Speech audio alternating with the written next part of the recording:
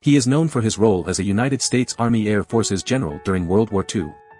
He served as the deputy commander of the American British Dutch Australian Command during the war with Japan.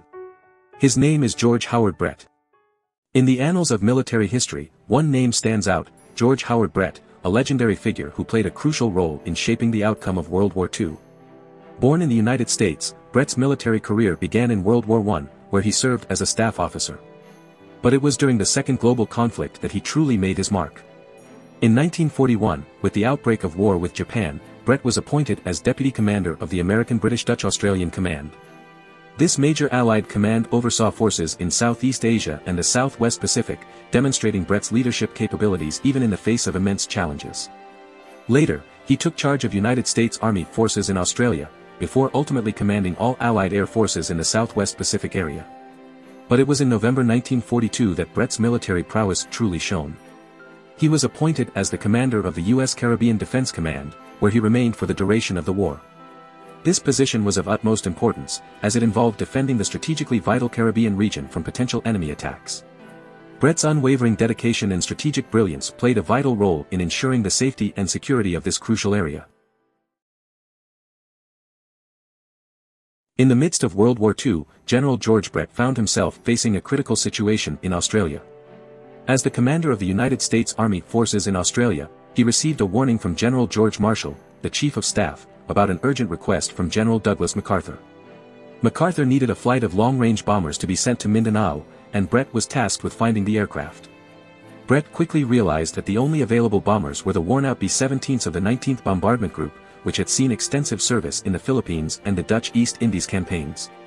Determined to fulfill MacArthur's request, Brett approached Vice Admiral Herbert F. Leary, the commander of naval forces in the Anzac area, to ask for a loan of some newly arrived Navy B-17s. Unfortunately, Leary refused, leaving Brett with no other option.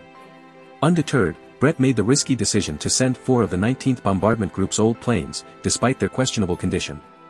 Only one of the planes, piloted by Lieutenant Harl Pease, managed to reach Mindanao. Two turned back due to engine trouble, and a fourth had to ditch in the sea. MacArthur was furious and sent a message to Marshall expressing his anger. However, the situation took a turn when a message from Washington, D.C. convinced Leary to release four new B-17s to Brett. These aircraft arrived in Mindanao on March 16, 1942, and successfully transported MacArthur and his party to safety in Australia. Despite the challenges, Pease miraculously made it back as well, carrying 16 refugees. It fell upon Brett to inform Prime Minister John Curtin of MacArthur's arrival. Although Curtin had not expected MacArthur's presence and had assumed that Brett would command American forces in Australia, he was persuaded to recommend MacArthur as the Supreme Commander of the Southwest Pacific area. While Brett maintained a friendly relationship with Curtin, he felt that the Prime Minister prioritized domestic concerns over the Japanese threat. Following a reorganization in April 1942, Brett became the commander of Allied Air Forces, Southwest Pacific Area, with his headquarters in Melbourne.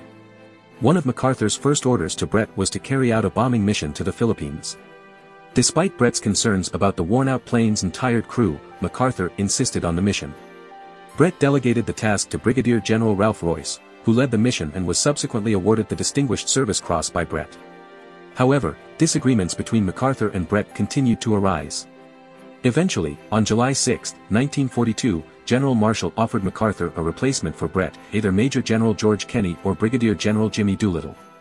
MacArthur chose Kenney, and Brett returned to the United States on August 4, 1942, flying in his B-17 nicknamed the Swoose. Just a day before his departure, MacArthur awarded Brett the Silver Star for his gallantry in action during air reconnaissance in the Southwest Pacific area. Do you want to explore more politician or military strategist? Who do you want to see featured next?